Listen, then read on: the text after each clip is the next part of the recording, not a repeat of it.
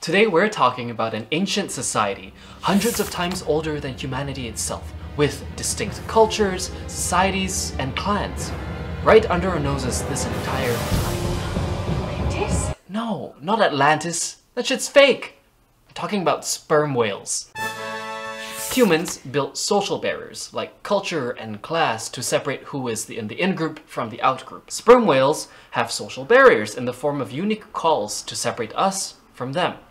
Humans say it takes a village to raise a child, while sperm whales literally babysit for each other in matriarchal communities. And these communities even hunt in groups and pass information down across generations. Oh, and humans have deadbeat dads?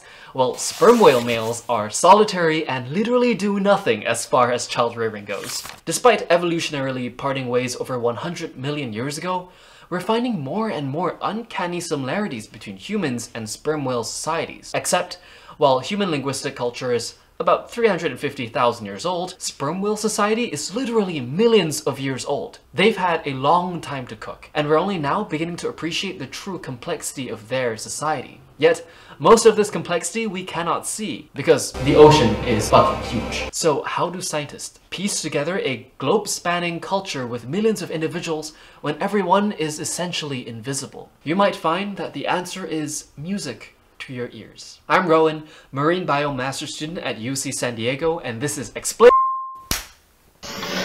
In the early 2000s, Dr. Hal Whitehead stood at the edge of his research vessel in the quiet waters of the Galapagos Islands with a pair of headphones pressed tightly against his ears. He was hunting for sperm whale calls, rhythmic clicks that occasionally cut through the silence. Then he noticed something interesting. Despite them all being of the same species, occupying the same small region of sea, there were at least two unique patterns of clicks, patterns that thousands of individuals somehow all knew. He would later call these patterns codas. When he put it all together, he discovered an entire sperm whale social system completely new to science, clans. Now, a family or social unit typically consists of 10 adults and their kids.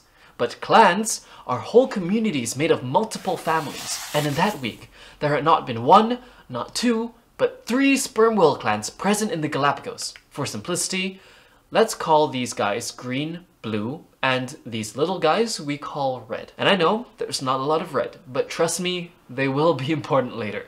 Okay, back to Dr. Whitehead. As any good scientist would, he began to look for other similarities between clans. As it turns out, green likes to hang with green, and blue likes to hang with blue. Seems like sperm whale clans have cliques too. Not, well, not cliques, cliques. He also found that they had different shit rates aka eating rates, but shit rates is funnier. Green tended to shit a bunch during certain seasons of the year, while Blue's poop schedule was a little bit more conserved.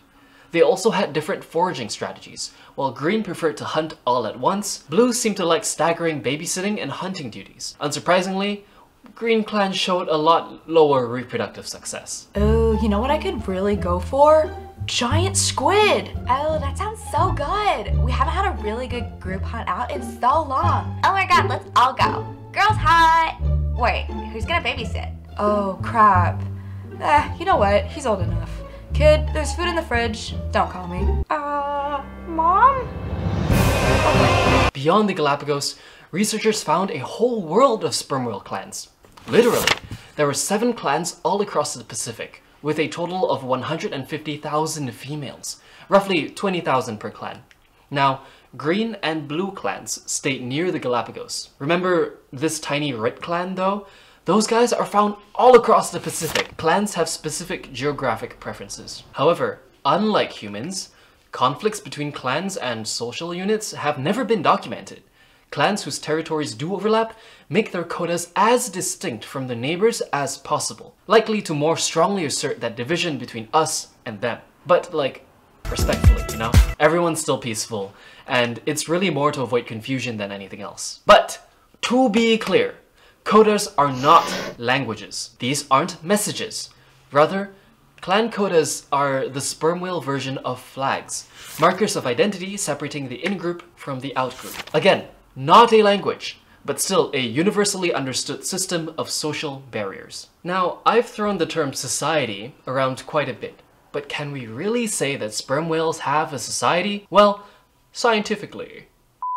Well, scientifically, what is a society? In a recent anthropological paper, Dr. Mark Moffett defines a society as groups whose constituent individuals recognize each other as members and that maintain control over access to a physical space. This definition includes baboons, meerkats, mole rats, and yes, humans. But Dr. Whitehead argues that maybe that second bit about territory is counterproductive. Unlike us silly land mammals, marine mammals like orcas and sperm whales don't fight over space because, again, the ocean is fucking huge. So territoriality shouldn't be a universal indicator for society. Instead, he emphasizes the concept of an anonymous society, one where all individuals don't need to know every member personally, but still understand who is and is not part of the society. Like how ants use pheromones as markers of membership, and how humans use flags and clothing. You don't need to know a guy personally to know that he's wearing the wrong sports jersey. Humans and sperm whales are one of the few species with anonymous societies, which are rare, but can be very big. And you know what they say about great size. It comes with a ton of cultural variation. Just like how societies in the Americas, Europe, Asia, and Australia developed unique cultures, sperm whales in the Pacific, Atlantic, and Indian Oceans could have unique cultures from each other. In fact, we see that sperm whales in the Mediterranean are getting pretty weird with it already. While male sperm whales typically leave their families in their teens to migrate north, Mediterranean whales have no north to go to, so they've developed a unique co-ed community. We also need to keep in mind that just because a clan speaks the same language doesn't mean they're culturally identical. We see cultural differences between human linguistic groups all the time, like within the island of Ireland and within Yiddish communities all across Europe. So there's plenty of reason to think that sperm whale clans have their own dialects and subcultures as well. Speaking of subcultures, human groups tend to define themselves in contrast to one another. Throughout history, we see factions deliberately adopt strong contrasting behaviors. Autocratic versus democratic, communist versus capitalist, goth versus preppy. This phenomenon has a name, schismogenesis, meaning the creation of schisms. Since we know that genetics and environmental factors aren't what drives sperm whale clan differences, maybe schismogenesis is. All said, sperm whales have a greater capacity for culture than we initially thought. Heck, they're more similar to humans than we initially thought. Because, again, the ocean is fucking huge, but the world is kind of small. We're on the scene of God's favorite cosmic soap opera, remember? And sometimes, the writing gets repetitive. Sperm whale societies are made of thousands of members across large areas. Members who can tell if a stranger is part of their clan just by ear alone, and know how to act based on their membership. And that's just what we know about the Galapagos sperm whales, which represents a fraction of the global population. Who knows what else science will learn in other oceans. So, if you still have your fingers crossed about an ancient underwater society, screw Atlantis. This is it. Right here, a 20 plus million year old society of intelligent marine mammals with unique regional cultures found all around the world and who've inspired so many human myths and stories. So what more do you want?